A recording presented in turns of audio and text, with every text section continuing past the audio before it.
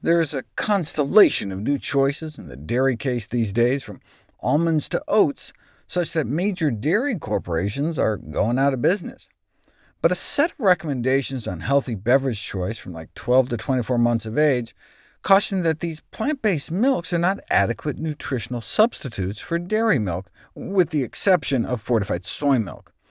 The report and the press coverage immediately triggered an outcry from the medical community for many reasons, including the concern around conflicts of interest, as several of these endorsing organizations received funds from the dairy industry, though one such organization is accused of trying to cover that fact up by removing the National Dairy Council from their list of sponsors immediately after the report was released. But what about the merits of the report? Well, after weaning, milk of any kind is not required, and really shouldn't be relied upon as a main source of calories. Children will be fine with water and healthy food. If you are going to give kids milk, there would seem to be a better choice. Although cow's milk is rich in calcium, it does not appear to clearly reduce fractures, and most plant-based milks on the market have the same amount. More importantly, the consumption of cow's milk carries risks, including a potential association with type 1 diabetes onset, anemia in toddlers, lactose intolerance, cow's milk protein allergy, and infantile colic.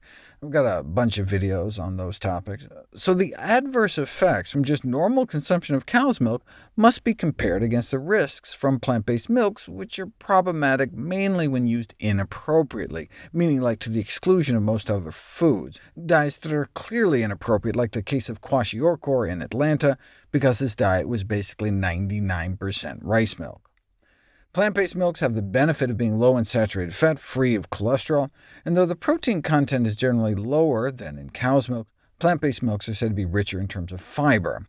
Um, that's technically true, since cow's milk has zero fiber, but the fiber contents of plant-based milks are pretty pitiful, certainly compared to the whole foods from which they were derived. I mean, a cup of soybeans themselves would have more than 10 grams, but still, soy milk is likely the least processed out of all plant-based milks.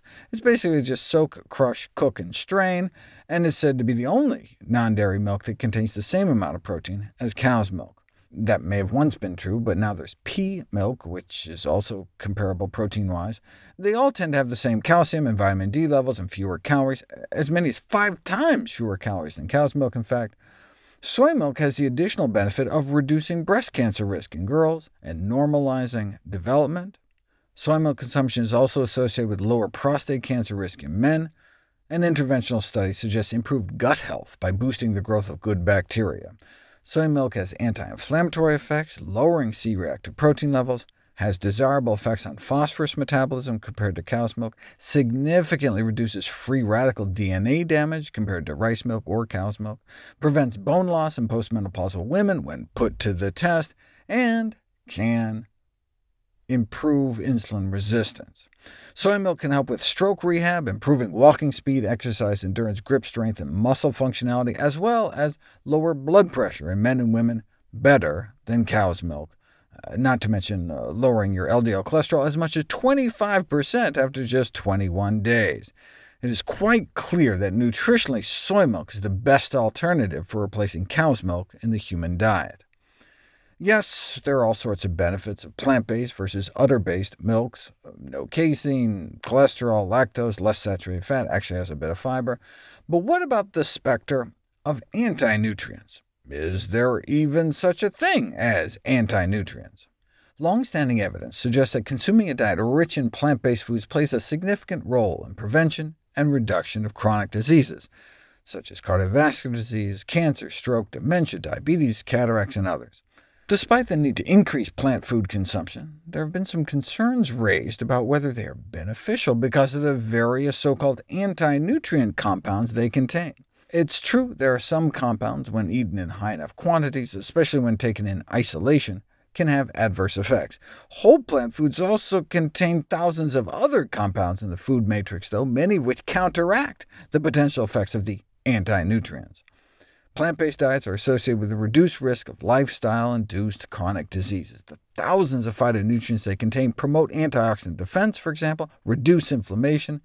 In some cases, what has been referred to as anti-nutrients may in fact be therapeutic agents for various conditions. Uh, see, for example, my video series on the role of phytates in the prevention and treatment of cancer. I don't want to end without emphasizing one of the plant-based pros, no lactose. People don't understand that the majority of adult humans on planet Earth are unable to digest cow's milk. Throughout childhood, the enzyme you have that breaks down the milk sugar lactose begins to decline in most individuals throughout the world, which makes sense since milk is for babies. Why would we need to digest it after weaning from the breast? And so most people experience symptoms like bloating, abdominal pain, intestinal gas, and watery stool, or even nausea and vomiting. The global prevalence estimate of lactose malabsorption is more than 2 out of 3 people and the United States is more like 1 out of 3, but 95% of Asians, 60 to 80% of African Americans and Ashkenazi Jews, 80 to 100% of American Indians, and 50 to 80% of Hispanics have trouble digesting milk. It's really mostly those of Northern European origin who can handle it throughout adulthood, so to say everyone should drink milk seems like an example of racial bias in federal nutrition policy. It's like they're assuming everyone is of Northern European descent.